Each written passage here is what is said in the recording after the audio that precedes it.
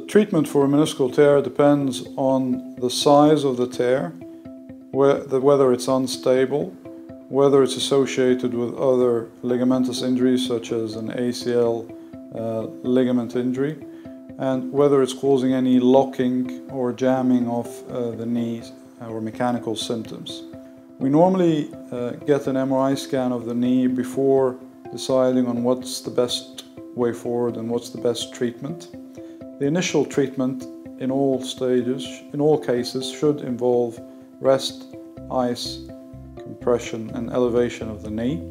We then get an MRI scan and we assess the type of tear, the size of the tear, the location of the tear, uh, whether it's unstable or not, and whether there are any other associated structures that are injured and we ask the history about whether there are episodes of locking or the knee giving way.